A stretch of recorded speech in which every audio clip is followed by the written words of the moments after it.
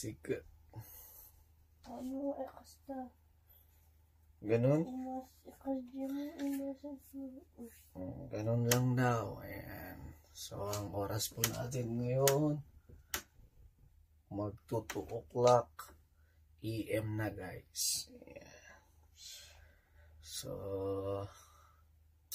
ito talaga ang buhay may asawa guys. Kaya sa may gustong mag-asawa, mag-isip-isip na guys. Ayan.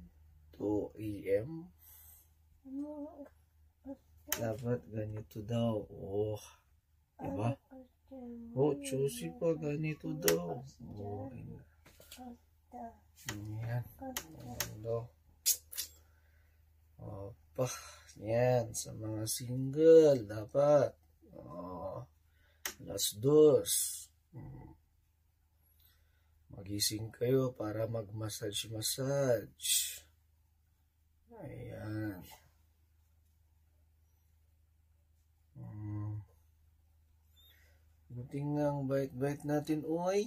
Ayan. Diba?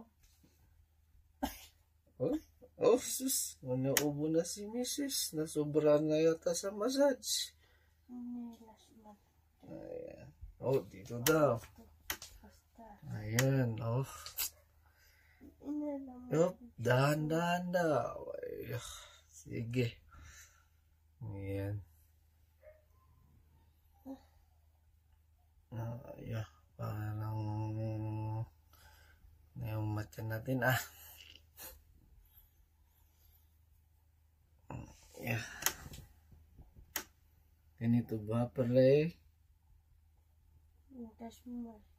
Kasta yun. Hmm. Ganito na daw yung next. Ayan. Alas dos. Kasta.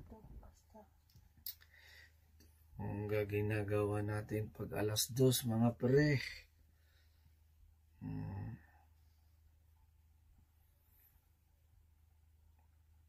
Gusto nyo ng ebidensya na alas dos. Ayan. Ito pre. Ayan. 144.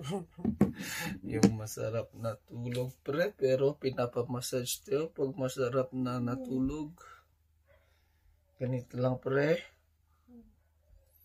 Ayan guys. Sikot. Ayan. Champion tayo pre. Champion. Ayan. Tama na? Ayan. Thank you po. Tama na daw.